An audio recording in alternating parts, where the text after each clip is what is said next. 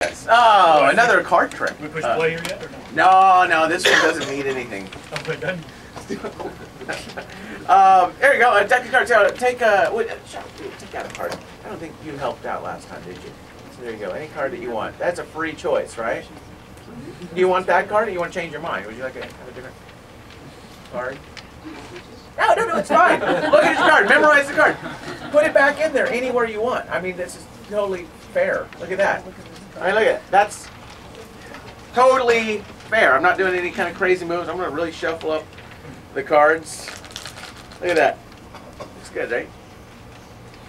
I didn't do anything. I promise you. That, that's what's cool about this. You don't have to do any sleight of hand with this. That's what's really cool. Real shuffle, perfectly fair card select. Uh, this uh, is what they call a houlette. I never knew why. Uh, it's the only place I've seen that uh, in Magic. Houlette. French for- Is it French for card holder? Sounds good. Um, so the cards go in there like that. Uh, now you saw that last trick. Maybe that was a little pricey for your your magic uh, price range here today, but we have this one. Watch, watch.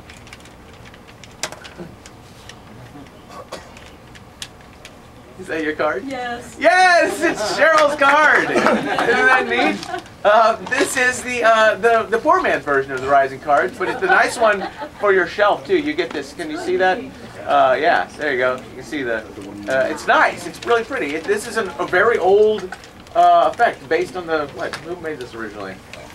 I don't know. P&L made some. Who, who did, who had a whole room with all the threads? and all Oh, the Hooker card There you go. Boy, that's incredible. But this is really neat. But no threads on this one. There's no threads. Not, not a gimmick deck?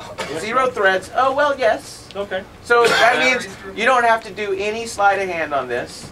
Uh, you can have multiple cards selected, put in there. There are no batteries to replace. There's no none of that, and no strings, nothing. It's all Streamlined. Lightning card, normally forty, you, forty-two dollars. We got Pretty like two cool. of them here. But you can, can you have two people, two cards on it? Yes, you can have multiple cards. So one can do it, then another one, then They're another trick cards, but they can be examined. They can Oh be yeah, you in and out. can totally. You can examine that deck. Everything is You play clean. poker with those. Yep, There you go, that's what I was meaning by, yeah. So, very good. it's neat. Okay, It looks good on your uh, shelf. I guess we can have either, we can have Patrick go again, because we're Sure, why not? trying to space it